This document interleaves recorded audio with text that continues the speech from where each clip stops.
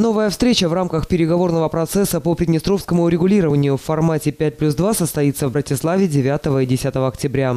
В ходе встречи будет рассмотрен ход реализации мер по укреплению доверия, согласованных в рамках пакета «Берлин плюс», а также определены возможные дополнительные и новые приоритетные вопросы для дальнейших мер по укреплению доверия. Переговоры будут вести действующий председатель ОБСЕ, министр иностранных дел и по делам Европы Словакии Мирослав Лайчак, а также спецпредставитель по процессу приднестровского урегулирования действующего председателя Словакии Франко Фратини.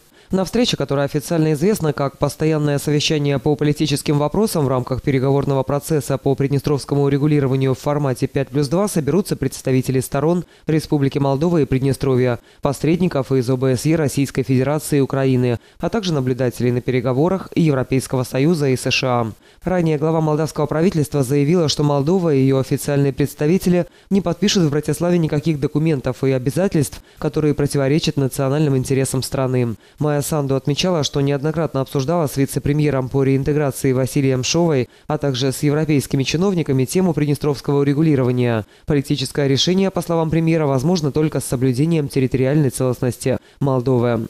К сожалению, сейчас нет внутренних и внешних условий для незамедлительного решения. Все, что мы можем делать, так это бороться с коррупционными схемами, контрабандой через Приднестровский регион. Надеюсь, что в ближайшее время мы подпишем протоколы с Украиной, чтобы увеличить количество пунктов совместного контроля на границе, подчеркивала глава правительства.